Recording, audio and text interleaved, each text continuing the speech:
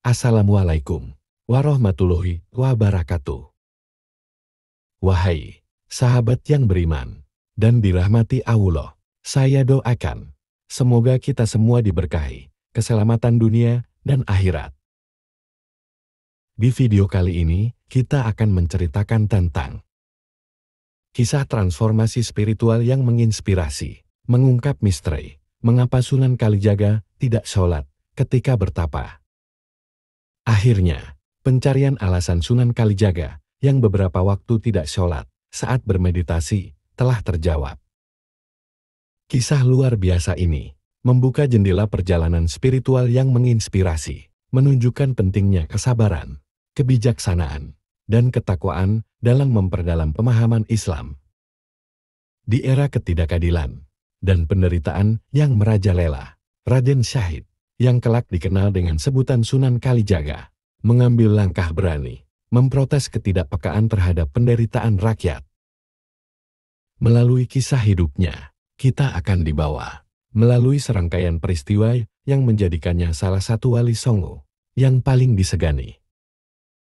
Mengikuti jejak Sunan Bonang, Sunan Kalijaga menemukan jalan spiritualnya yang unik, yang tidak hanya didasarkan pada formalitas ritual keagamaan, tetapi juga pada pemahaman mendalam tentang hakikat keberadaan dan hubungan dengan pencipta dan seluruh ciptaannya.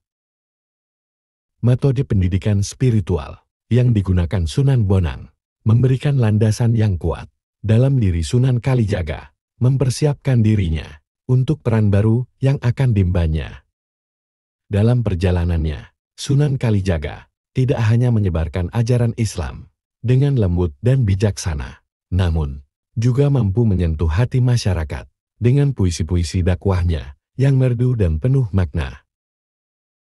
Bahkan, Kisahnya juga menginspirasi tokoh seperti Kakrajaya, seorang perampok yang menemukan jalan hidupnya yang baru. Melalui pengembangan desa Jaseng, Sunan Kalijaga dan para santrinya memantapkan warisannya sebagai pembawa cahaya Islam dan pilar kerukunan masyarakat. Sunan Kalijaga dikenal mengakomodasi kearifan Jawa dan budaya Jawa yang berbudaya.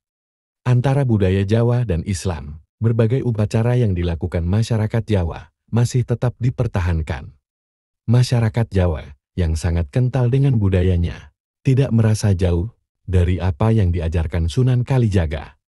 Sunan Kalijaga dikenal sebagai pencipta pakaian kesolehan, tambang Jawa, kesenian maulid Nabi yang lebih dikenal dengan sebutan grebek maulid, upacara sekaten, atau syahadatain, pengucapan dua kalimat syahadat yang dilakukan setiap tahun untuk mengundang masyarakat Jawa masuk Islam. Sunan Kalijaga juga menyusun beberapa doa dalam bahasa Jawa. Doa-doa yang dipanjatkan Sunan Kalijaga berbentuk kidung atau mantra, dan yang paling terkenal adalah Kidung Rumek Sawengi. Lagu Sunan Kalijaga dikenal dengan judul Mantra Weda, Doa Penyembuhan. Berguna untuk penyembuhan dan perlindungan diri. Lagu di sini diucapkan dengan keyakinan tinggi dan nantinya mempunyai kesaktian. Susunan doa inilah yang menyebabkan Sunan Kalijaga diterima dengan baik oleh masyarakat Jawa. Saat itu, kondisi masyarakat Jawa kurang baik. Banyak penyakit dan hama yang merajalela, sehingga masyarakat membutuhkan pertolongan.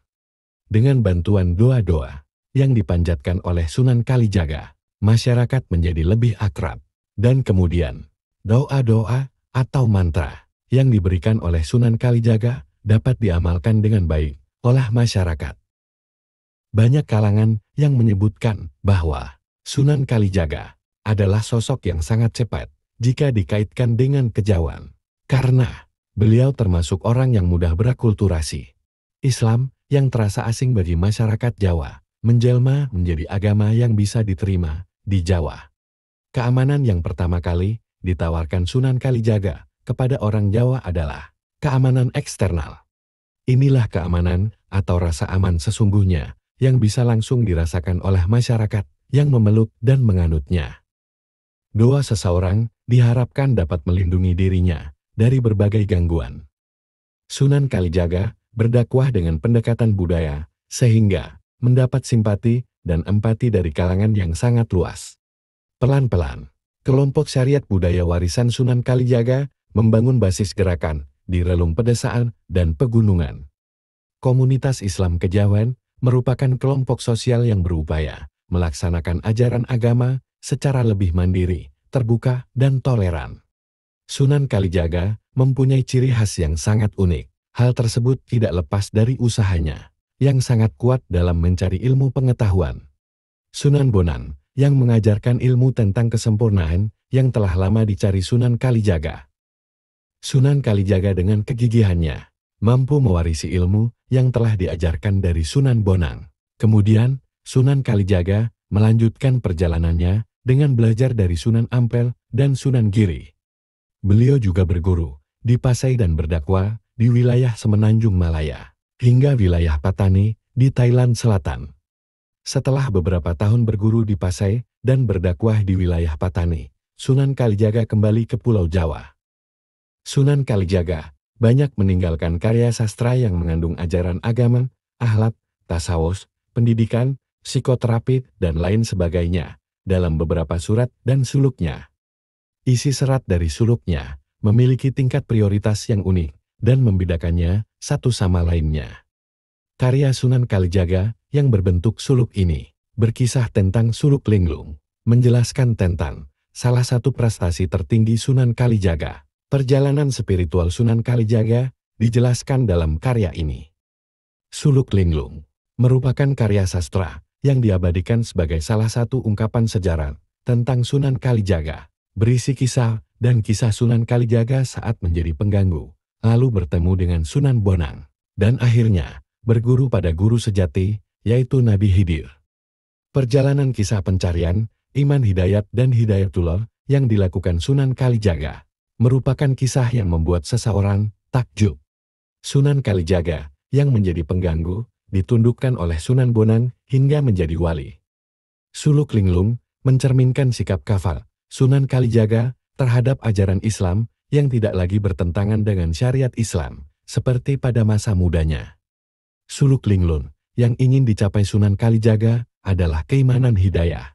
Dijelaskan tentang ketakwaan yang merupakan kondisi puncak yang ingin dicapai umat Islam.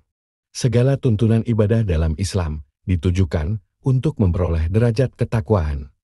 Makna takwa lebih jelas dibandingkan dengan petunjuk keimanan. Begitu pula petunjuk untuk mencapainya.